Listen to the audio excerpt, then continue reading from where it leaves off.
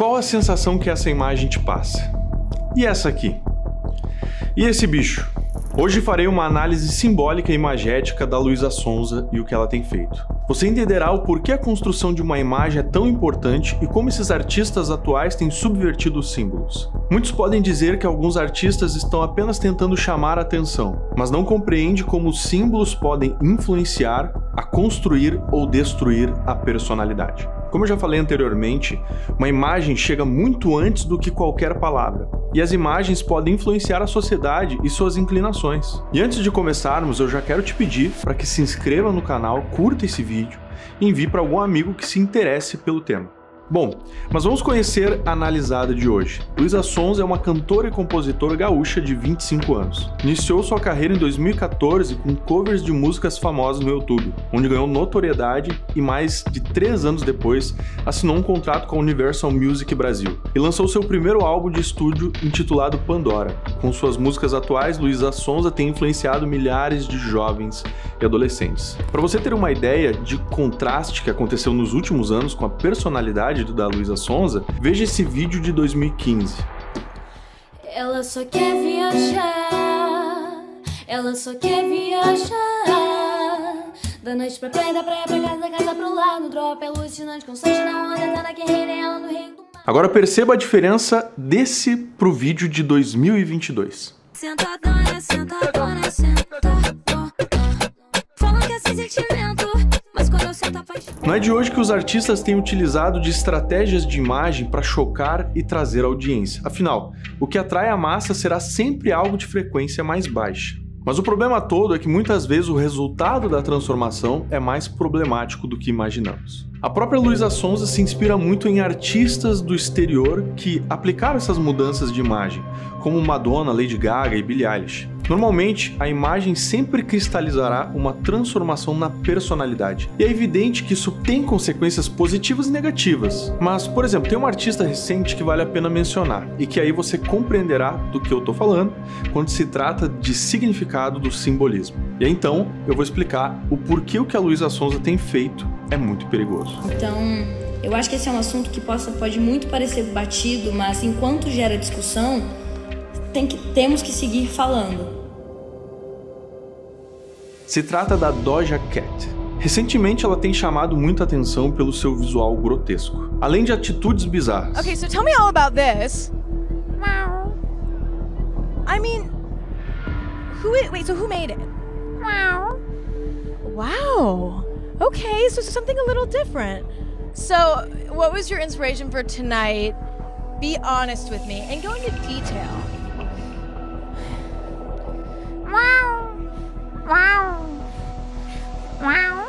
Essa imagem, por exemplo, te passa qual sensação? Tranquilidade ou algo ruim? Coloca aqui nos comentários o que você sente. Mas o que eu quero realmente mostrar é um clipe que saiu recentemente chamado Paint the Town Red, que é pintar a cidade de vermelho. É um clipe cheio de simbolismo e significado.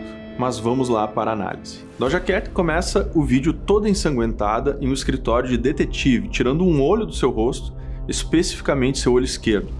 Quando o olho cai da mesa, cai diretamente em uma outra cena, que aparece ela em cima de um demônio. O olho é a entrega de sua percepção. Ela prefere viver na ilusão da fama do que enxergar a verdade. O escritório de detetive é para mostrar que existe um significado oculto. Normalmente, quando tapam o olho, estão falando de uma meia-verdade. Na próxima cena do demônio gigante, no fundo, vemos globos oculares pendurados.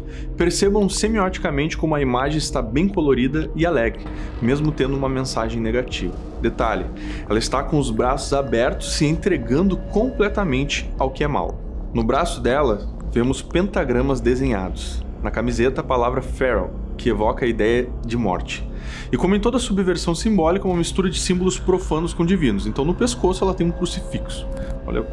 Logo após isso, ela aparece com uma túnica vermelha, ao lado da própria morte, que está segurando uma foice.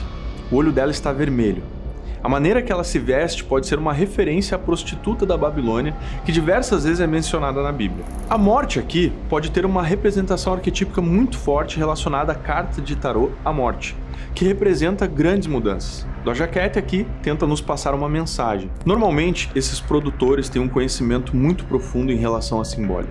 Doja Cat então desce cada vez mais, até chegar no próprio inferno e se aproximar do diabo. Lembra quantos vídeos vemos desse tipo? Um exemplo é o Monteiro de Lil Nas X, ao qual já fiz uma análise. E da mesma forma que Lil Nas X está tendo um relacionamento com o diabo, ela também. Logo em seguida, aparece uma cena com um embrião de um pequeno demônio.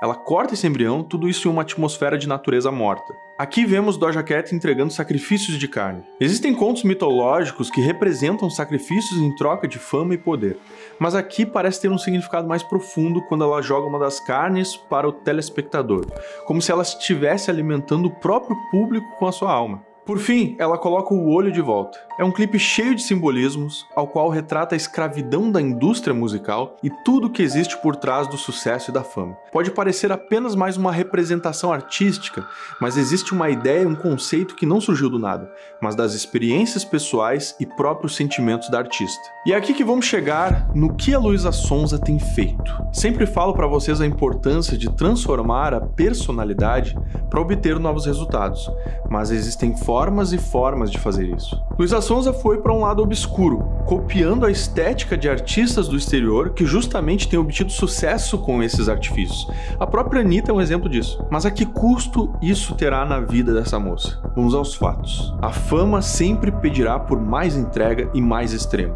Vimos aqui um pouco da evolução da Luísa Sonza. Um dos motivos que ela alega essa mudança é a representação de suas eras. Inclusive, ela fala muito em estratégias e seus sentimentos sentimentos. O que foi? Você falou assim, mano, eu preciso mudar, deixar de ser bonequinha.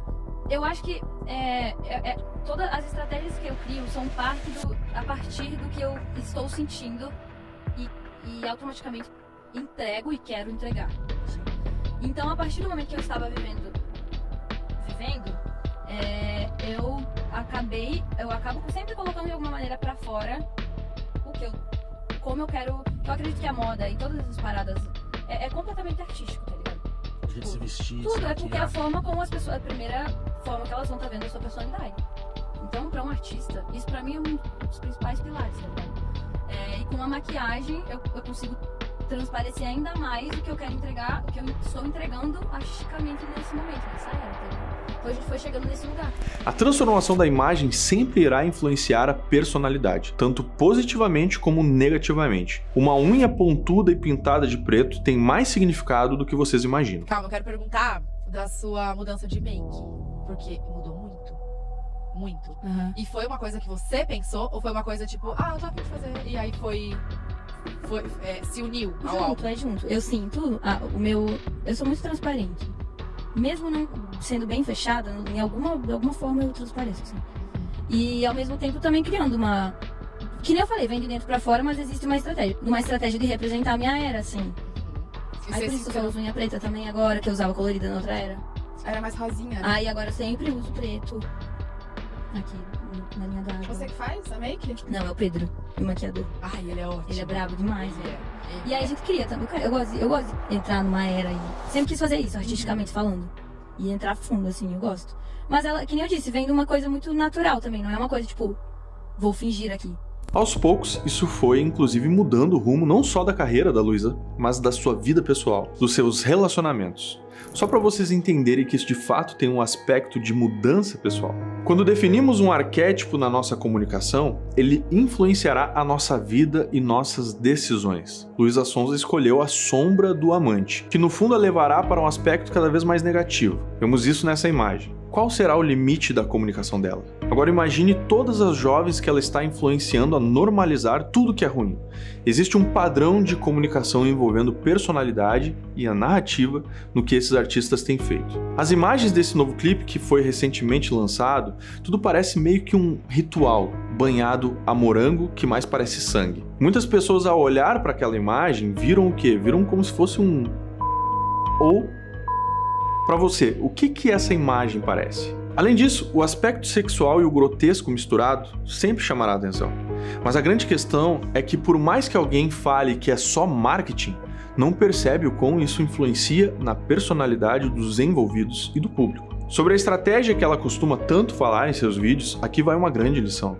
Você não precisa ir nesse extremo para ter sucesso. O posicionamento bem feito consegue transferir autoridade e alcance de uma forma que não influenciará negativamente sua personalidade. E aqui eu faço um apelo para que todos abram seus olhos. E te convido para conhecer meu treinamento online Masterclass Simbologia e Semiótica. Nesse treinamento eu ensino você a ter a visão simbólica e imagética definindo seu arquétipo e conseguindo ter mais resultados nas vendas, além de ter mais alcance e autoridade. E da forma certa, pessoal, sem precisar chamar atenção, sem precisar fazer dancinha ou coisas ridículas que nem esses artistas têm feito. O link para você se inscrever está aqui na descrição do vídeo. E eu te espero lá para realmente transformar a sua realidade. Está na hora de você deixar de ser manipulado e ser o protagonista da própria mudança. Pois lembre-se, até você se tornar consciente, o inconsciente irá dirigir sua vida e você vai chamá-lo de destino. Eu estou deixando aqui ao lado mais dois vídeos relacionados a esse tema para você que deseja se aprofundar nesses assuntos. Tenho certeza que você vai se surpreender com tudo que há aqui nesse canal. Forte abraço e te espero no próximo vídeo.